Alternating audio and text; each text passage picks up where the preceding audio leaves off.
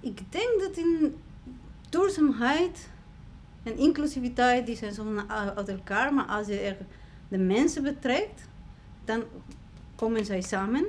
Eh, en ik als stedenbouwkundige ontwerper zou ik denken dat de openbare ruimte en het ontwerp van de openbare ruimte het belangrijkste is om de stad duurzaam en inclusief te houden. Ik denk als ontwerper moet je bewust zijn dat je geen eindbeeld maakt over de toekomst. Maar dat je bereid moet zijn dat wat je denkt meer een, een idee is om een gesprek te voeren en dat het eindresultaat komt uit die gesprek.